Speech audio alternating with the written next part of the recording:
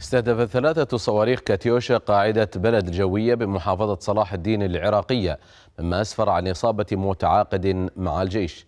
ويأتي الهجوم بالتزامن مع عملية أمنية جرت ضد عناصر من تنظيم داعش. لم يكد يمر أسبوع على الهجوم الصاروخي الذي استهدف قاعدة أمريكية في مطار أربيل حتى جاء الدور على محافظة صلاح الدين. ثلاثة صواريخ كاتيوشا استهدفت قاعدة بلد الجوية وأسفرت عن إصابة متعاقد يعمل على صيانة الطائرات الحربية للجيش العراقي. مصادر أمنية كشفت أن صاروخين من ضمن الثلاثة استهدفا الجناح العسكري الخاص لشركة سالي بورت الأمريكية في القاعدة الجوية في حين فشل الصاروخ الثالث في الوصول إلى القاعدة. من جهتها ردت وحدات الجيش العراقي على مصدر الصواريخ بإطلاق نيران مدفعيتها على موقع يبعد 12 كيلومترا شرقي القاعدة الجوية. يعتقد أن الهجوم انطلق منه.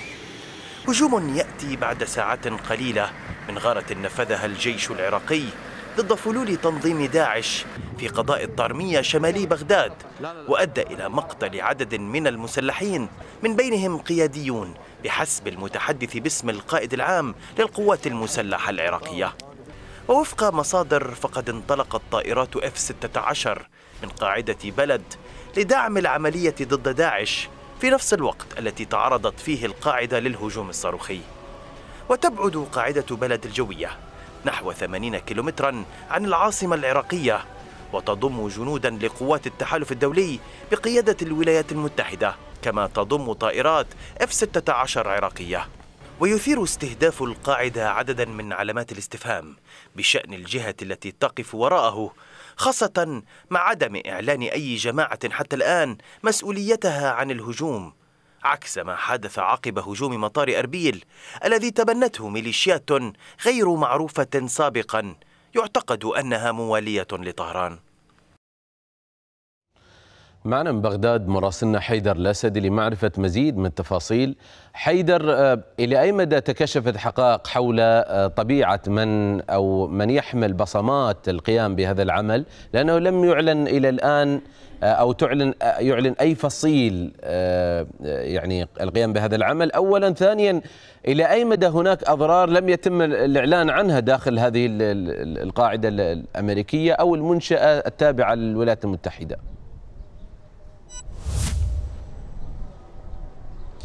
المتحدة ماجد الغموض حتى هذه اللحظة يكتنف هذه العملية. لا توجد آه، نتائج للأضرار التي حصلت داخل آه، أو الأضرار الحقيقية التي حصلت داخل هذه القاعدة. هذا من جانب. من جانب آخر لم تعلن أي جهة مسؤوليتها آه، عن الهجوم على اعتبار أنه هجوم خطر ونوعي وتبعاته ستكون بالتأكيد وخيمة على الجهة التي قامت بهذا الهجوم. كونه أصاب إصابة مباشرة الجناح العسكري للمستشارين مستشاري شركة الشركة الأجنبية المختصة بصيانة طائرات اف 16 وهم غالبيتهم من المستشارين الأمريكان، بالتالي آه، هذا الهجوم آه، يضع الحكومة العراقية أيضا في موضع حرج كبير.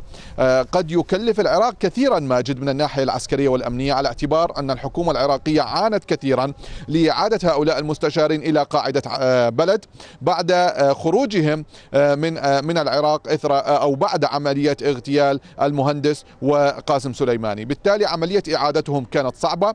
أما الآن آه، مسألة استهدافهم والتفكير آه، من قبل هذه الشركة بالخروج مرة أخرى سوف يكون أو سوف يحمل نتائج سلبية كبيرة على الوضع الأمني والعسكري العراقي على اعتبار أن هؤلاء هم المختصون بصيانة طائرات اف 16 العراقية التي نعم. آه، تعالج مواقع تنظيم داعش. وبالتالي عندما لا يكون هناك صيانة ماجد سوف تكون هذه الطائرات عبارة عن آه، حديد جاثم على الأرض ليس إلا.